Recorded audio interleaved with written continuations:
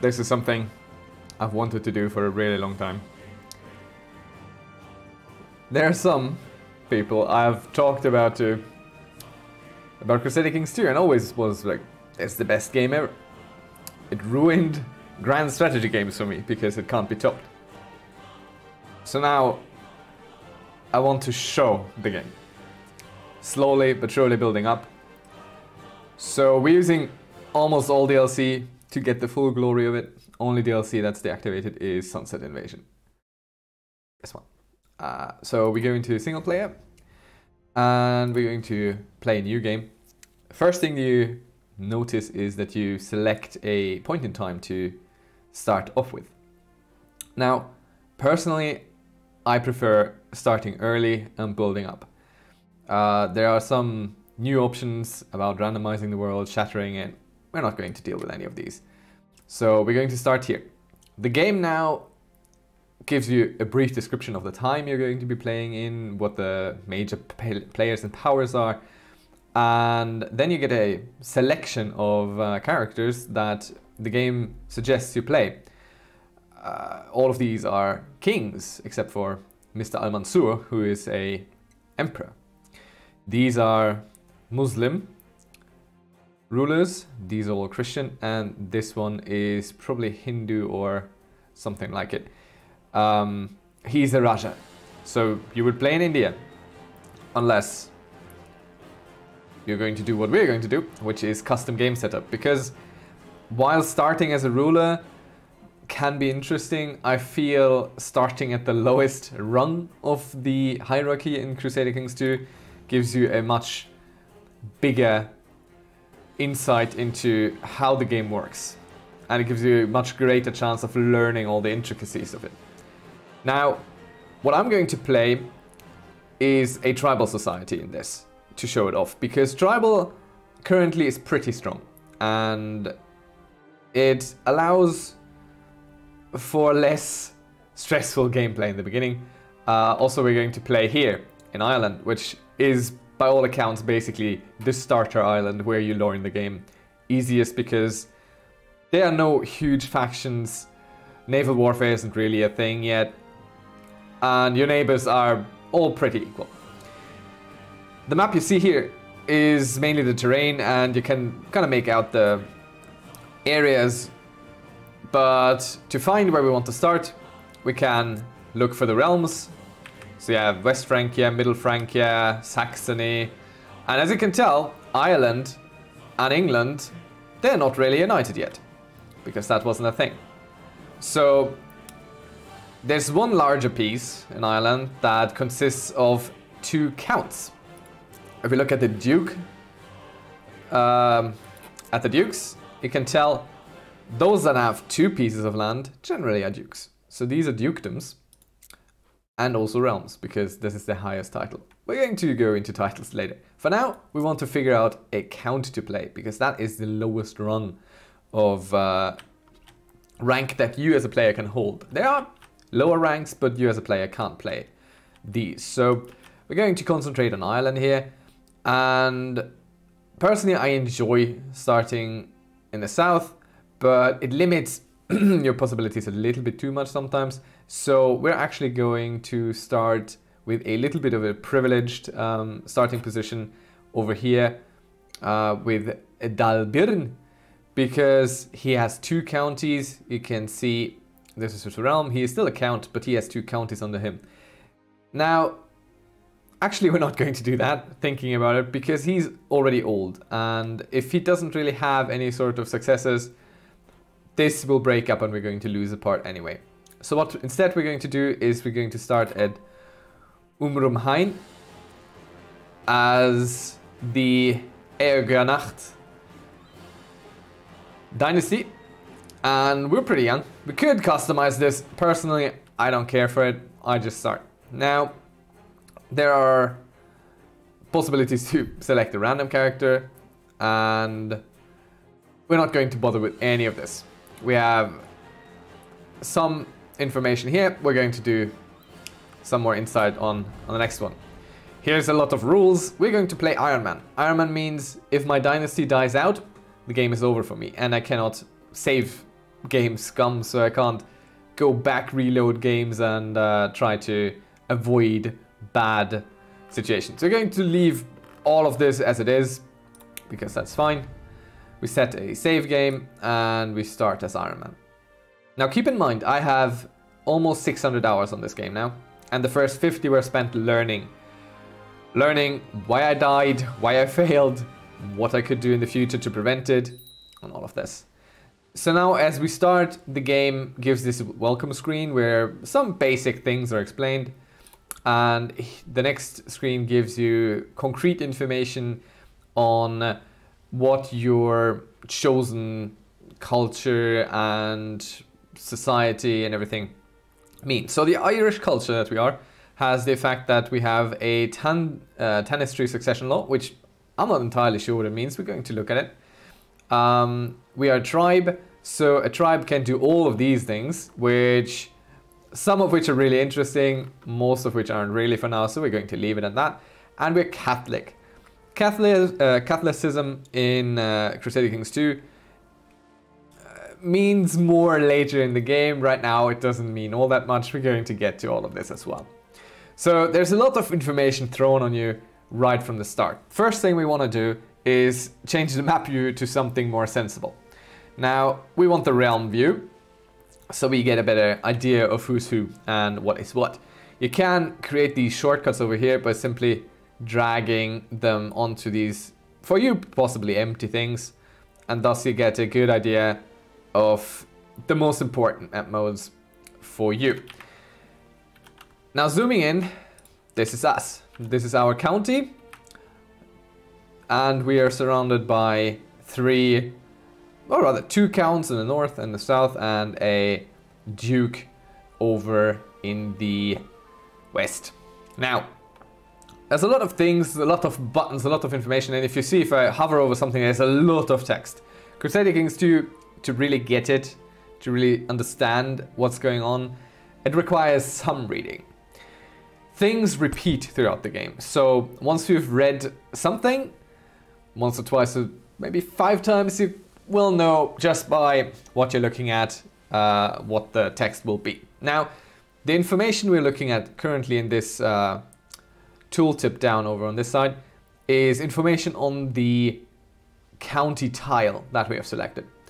And it tells us that the terrain is plains, the climate is mild winter, the current winter is mild, and the name and how many units it can supply, all of which is going to be much more interesting once we go to war. Um, for now, you're started with a bunch of options up here, which are going to directly affect our character. Now, clicking on us, we get our character view, which is important, and you're going to spend some time here throughout the game.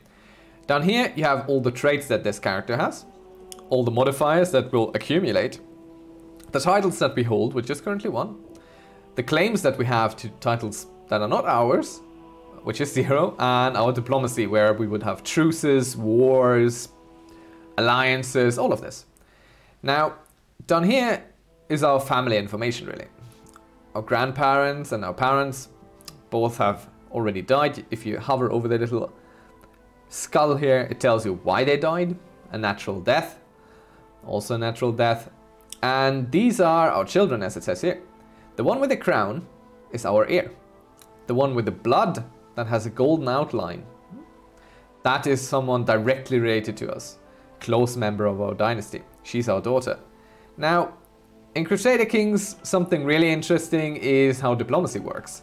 You do not actually fight uh, a battle against random AI where you're just like, hey, Mr. Dude, uh, let's become allies.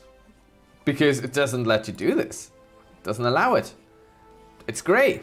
If you look at the tooltip, it tells you why it's grey. Because he is not a close relative, nor does he have a uh, non-aggression pact with us. So we can't. We can't talk to him. However, as we just discovered, we have a daughter.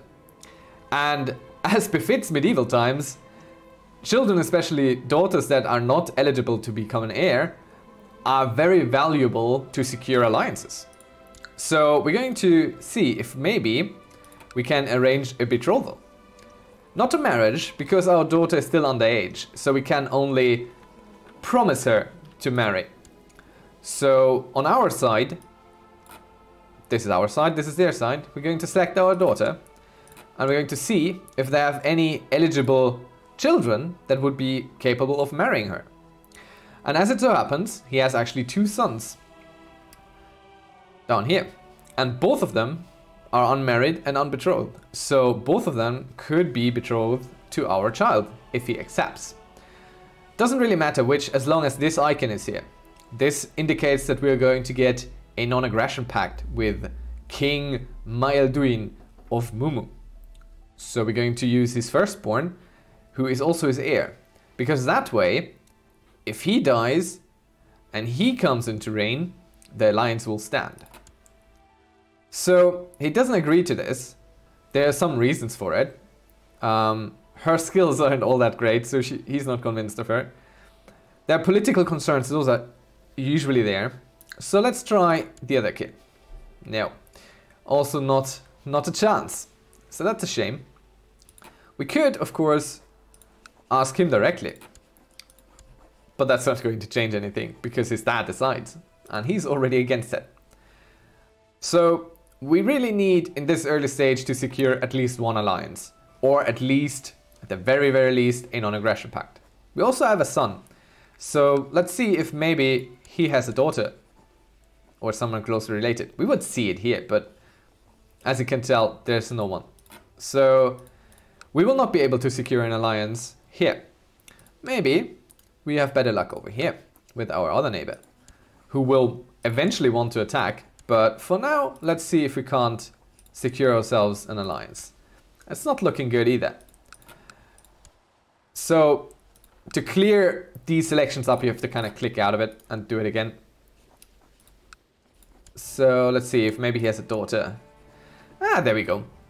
Now, the age does make some difference. Uh, both of our son, who's 12, and he can only marry starting 16. So we need to be very careful in selecting our wife because women they can't bear children forever and it's very important that they do bear children to generate heirs. Now he's 12 so in 4 years he's going to be eligible to marry. In 4 years she will be 26 and I say around 35 is the cutoff where you generally don't get any uh, heirs anymore. Looking at the traits, she doesn't have anything that gives her a fertility bonus, which would help increase the odds of having a child. Neither does the sister. So these are not super good options, but we might come back to them. Let's check in the south before we settle on anything. Let's see. Ah, we could betroth her to him. Or to one of his sons. Probably more the younger one. Let's see. That's not an option. Also not an option. Let's see if the old... Nope. he doesn't want that either. So, it probably is going to come down to this. Because that's not the thing. Let's see if he is going to take our heir. Also not a thing. Wow, okay, people are not very happy with us. We can modify a little bit and try to help it. But first we're going to look around, shop around a little bit more. Maybe we can find an alliance. Nah, I would have thought this might have been closer, so it might have happened. But that's okay. Also not a thing. Let's see. Uh, who are you even? Oh yeah, it's this. Alright, let's have some betrothal here, maybe? Maybe your daughter? No, also not. Her skills are really putting us uh, a little bit back. Now, what we could do is, for example, improve the opinion of a different character of ours by, for example, sending him a gift, which will give us a positive opinion modifier for a certain amount of time, by 26, which might, might help convince him. But if we're going to do that, we should pick the best candidate and first check all our options. So we're looking still to secure an alliance early, and it's not it's not looking good for us. It's not looking good. There's no option here. So his objection was very strong. So it's very unlikely that with an opinion bonus we're going to convince him. His objection wasn't as strong, I believe. Ah, it's still pretty strong. I think the least amount of resistance we found with Chief Donachan. So, we don't have a lot of gold, so it's probably not a good idea to spend it as of now.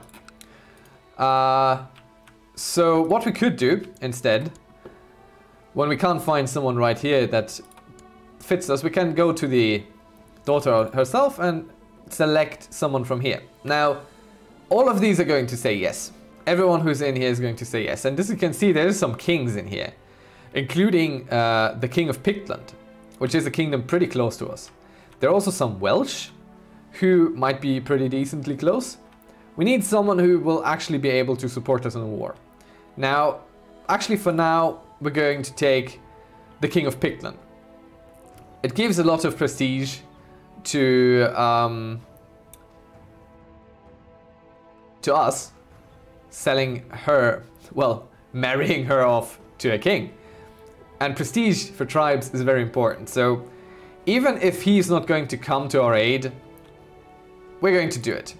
Because the prestige alone is quite worth it. Now let's find someone for our son. Our son, our heir, is going who we're going to play if our main character dies. Or rather, when our main character dies. Always happens. Eventually. Now, selecting a potential wife for him has different criteria. Because her skills will directly affect his skills. We'll show that on him in a second. For now, we want to see if, if we sort by rank, there's going to be someone interesting. We're looking mainly for people of uh, a close relation, but we're out of luck there. There's no one here that's very close to us. They're all Italian, Frankish, Greek. It's not really helping us. So instead of going by these arbitrary rules, we're going to go for who's the best. First, we sort by age because we want someone young. Not too young, mind you, unless we only do it for the potential alliance. But someone who's young enough to not outgrow him once he's old enough and who has some decent traits. First one who comes to mind is her, actually. She's 16, so just came of age. She's a charismatic negotiator, which gives her plus 5% fertility, which is good for having heirs. And all the other traits aren't too bad either. So her traits aren't the greatest. She's actually a little bit better, but she's unfinished yet, so we don't know what she might become. She might become something really good. So honestly, despite her looking quite attractive, no pun intended, we're going to go for her. She's younger, closer in age, and that's good. So let's have this betrothal. Now the last thing right now, after having secured one non-aggression pact, which we'll try and turn into an alliance, and one suitable woman for our heir, we're going to go through all these buttons up here. Okay. First things, our children, as they grow, they learn. So for each of them, we're going to set a focus now this is already the second stage of a focus. The first stage um, starts at zero years and goes to somewhere around 10, 12 or something. And they develop these pre-traits, basically, which might develop into actual traits that they will carry with them for most of their lives unless an event changes their traits. And these all correspond with a different specialization. Now, for the women, it doesn't matter all that much unless you want to use them later on within your own kingdom. So really just pick whatever. I usually go for diplomatic because I feel like that is what a woman would have been educated in or stewardship. So she's going to get that focus. Now our heir, that is a little bit more interesting. First we check his skills. He has a 5 diplomacy, 6 martial, 3 stewardship, 9 intrigue and 7 learning. We could go for something that corresponds to any of these. Um, but honestly, we're going to pick martial because we're going to use war a lot as a tribe early on. And we want someone who's really good at that because that affects how many units we have, how well they recover, many more options. Plus he has a trait that might develop into something sensible, such as brave, which is really good. So he will be educated in a martial education. He is also educated by us directly. You could change another guardian, but we'll take care of that later. Now, this is a kinsman who is also lacking some focus. We'll put him to, let's say, duty. These are the pre-traits. He is not old enough yet to go for a perfect direction, so since he might get a claim later on, it doesn't really, it doesn't matter all that much. Good. There are a lot of minor titles to take care of. This is something we're going to do next, next episode, not this time. For now, we finish our character. And for ourselves, we also get to pick traits. All right. So we are going to check what we're good at already and try to complement it. We are already a brilliant strategist and we have an aggressive leader trait, which come from our high martial skill. If we selected war, we would get more martial and more personal combat skill, which is not bad, but we're already pretty developed on it. So this is going to take a while until it gives us a real benefit. We're also pretty good on stewardship, and going for business will help us potentially uncover ways to earn some more gold, which is quite indispensable early. These can be changed after about 10 years, so it's not all that terrible to pick something. But for the beginning, unless we go for scholarship, we are going to go for business for now. So let's have this. Now, the last thing we want to select for our character until we're really ready to get this going is to select an ambition. We get this list of possible things we want to do, among which is become the King of Ireland see the realm prosper, build a war chest, and all of these give different modifiers and bonuses. For example, if we wanted to groom an heir, we would get plus 20% fertility for 12 years, um, until a child reaches 12, sorry. Now, we already have an heir, so that's not really needed. For now, we are going to go with something um, that might be a little bit more interesting, and we're going to build a war chest actually. And we're trying to build money up so we can go to war. Right? So this is what you prepare for. There's one last thing, which is the minor titles. And after that, we head off straight into the game. Now, if you think, well, this was a lot and we haven't even played a second, that's not a problem. Because this, explaining it all, that takes a while, but once you've got it all down and you've done it a few times, this is pretty quick. You don't have to think much about it. You'll just pick, okay, I want to achieve this this time, and then you'll be right off to go. No trouble there. Okay, so we'll end it here and check out the special minor titles on the next go. And then instead of keeping on about everything that you could do or what you could do, we're just going to start the game and play along and I will explain my decisions why I'm doing it, what I'm going for with what I do, and this way I believe I can show off how to play this game much better than telling you half an hour about each little thing that's in this game, because there's a lot of little things in this game.